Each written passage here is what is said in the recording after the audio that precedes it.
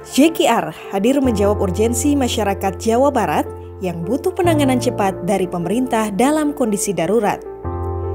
JKR bertujuan sebagai gerakan sosial atau civil society movement sekaligus inovasi atas keseriusan Pemda Prof Jabar untuk memberikan solusi pertolongan pertama atau first aid bagi warga.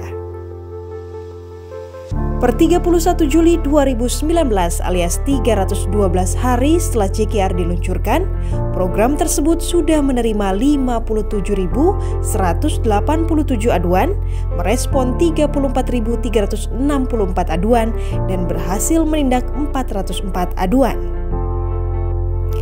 Tujuh lingkup layanan JKR adalah sakit dan darurat kesehatan, putus akses pendidikan, kelaparan dan gizi buruk, rumah tidak layak huni yang mengancam jiwa, listrik darurat desa isolir, kebencanaan, lingkup jembatan darurat. Yang merupakan harapan masyarakat yaitu berupa jembatan penghubung antar dua kecamatan antara Desa Jaya Raksa, Kecamatan Cimaragas, dan Desa Jangala, Kecamatan Cidolo. Saya sangat bangga dan merasa gembira.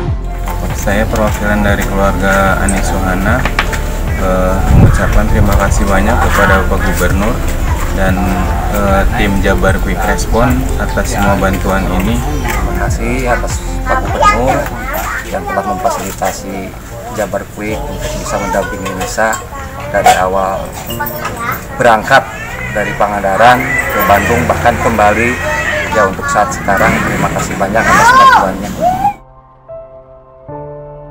Saat ini JKR memiliki hampir 300 relawan yang tersebar di seluruh kabupaten kota di Jawa Barat. Bantuan yang diberikan kepada warga yang ditindak merupakan kerjasama JKR dan Badan Amil Zakat Nasional Jabar hingga perusahaan Eger dan komunitas crowdfunding. Atas inovasi ini, Gubernur Jawa Barat Ridwan Kamil meraih apresiasi penghargaan sebagai Kepala Daerah Inovatif 2019 dari Koran Sindo di Kota Padang.